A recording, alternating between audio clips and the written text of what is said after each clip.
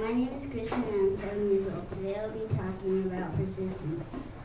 Persistence means not to give up. Here's an example of persistence. Once I was in a rock climbing competition, uh, and I was in fourth place because I was tired of climbing, but I didn't give up. So, so and then I won. Uh, the moral of the story is not to let your stubbornness. Thank you.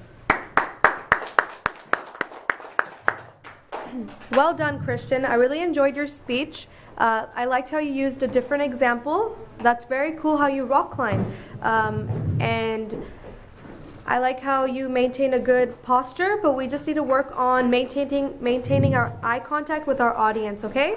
And good job with talking nice, uh, nicely, uh, loud and clear. So keep it up.